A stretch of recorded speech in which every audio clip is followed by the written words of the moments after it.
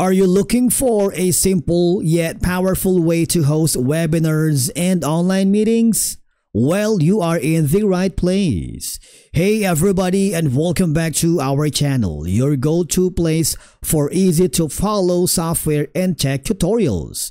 In today's video, we are diving into Zoho Meeting. Zoho's user-friendly platform for video conferencing and webinars. So we will show you how to schedule meetings, host webinars, customize your settings, and even collaborate with participants all within the Zoho ecosystem. Whether you're a first timer or switching from Zoom or Google Meet, we will walk you through everything you need to start using Zoho Meeting like a pro. So let's begin. Now, the first thing that you need to do, visit the official website of Zoho Meeting. On the top corner, there's going to be an option to get you started, but of course, you can simply click the sign up for free. If you do, you will be forwarded to a new page.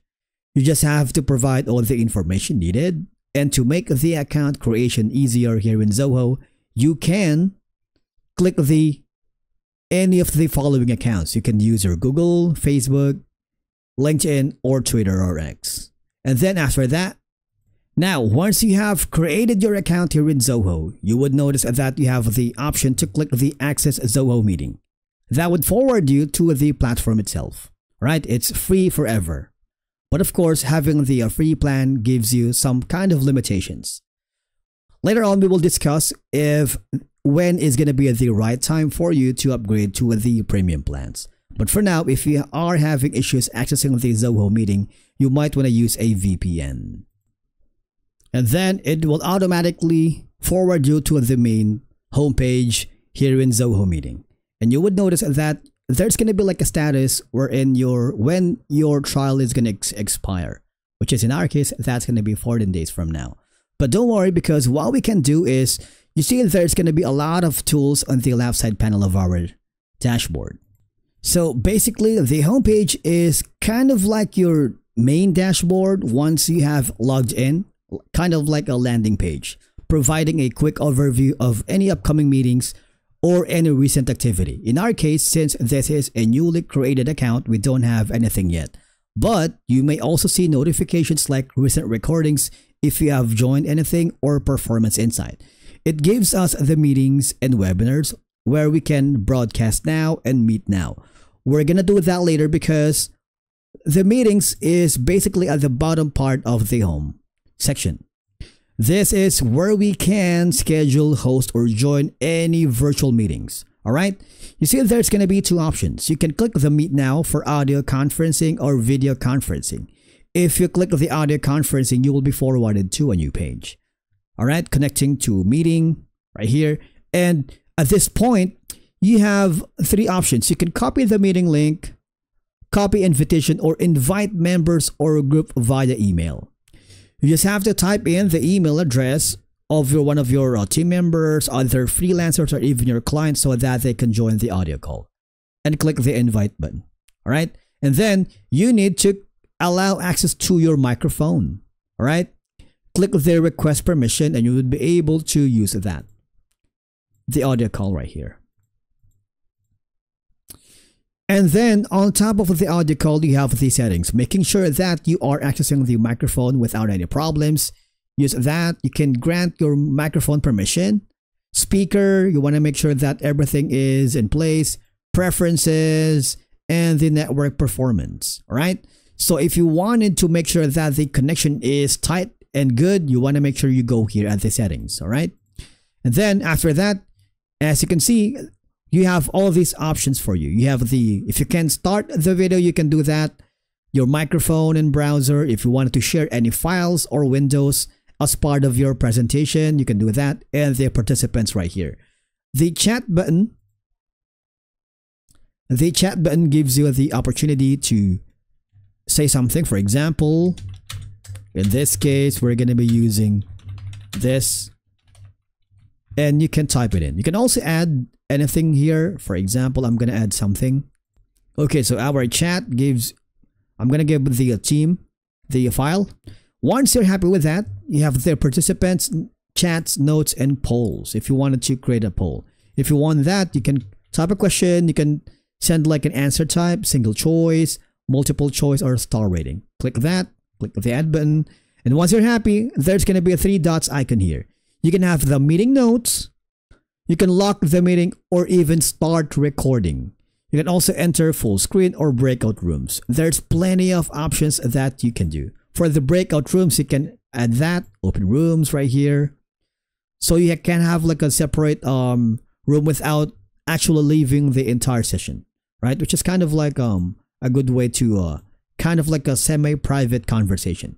You can have a picture-in-picture right here. You can add someone here. For example, if you wanted to kind of like a smaller um, chat within the uh, session, you can do that here. Plus the change layout. The change layout gives us the opportunity for us to change the entire design. If you're if you feel that the layout is not for us, it's kind of boring, you might want to make it interactive to change it. All right, and again, after that, I'm to end this call because I'm going to close the window. Okay. We should be able to go to the first one. Remember the activity gives all the recent recording that we have joined. All right. So that's going to be for meetings. For the webinars, if you want to schedule, it's very easy here in Zoho Meetings. Just click the get started and you will be forwarded here. You can click the broadcast now if you wanted. So if you don't want to schedule, right off the bat, you can create a webinar. Of course, you need to request the permission for your microphone and it's similar to what we have done earlier. In this case, I'm going to cancel and proceed. All right, select your devices and proceed. Copy that webinar link, send it to your client, your team members, depending on your preferences. All right. I'm going to end this webinar so that it will be forwarded to our recent activity on the main platform. And then there's going to be the call section. The call section, it lets you make an audio or video calls directly within your contacts or team members, which is kind of ideal if you're part of a collaborative environment. Ideal for a quick one-on-one -on -one or small group discussions integrated with Zoho communication tools. If you are a fan of Zoho, this is going to be the best uh, communication tools for you. All right. Of course, the calendar displays the uh, view of all your upcoming meetings, webinars, and calls. If you want to schedule meeting, you can do that. Type in the title, participants, put it here in the agenda. Of course, click the schedule. It's very easy. And of course, you can set reminders and manage schedules all in one place.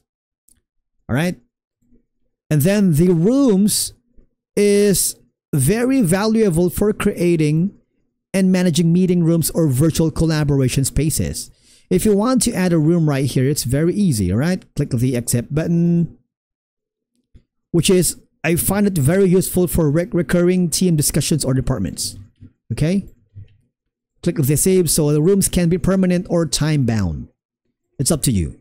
The files stores all the recordings, presentations, and shared documents from your meetings and webinars.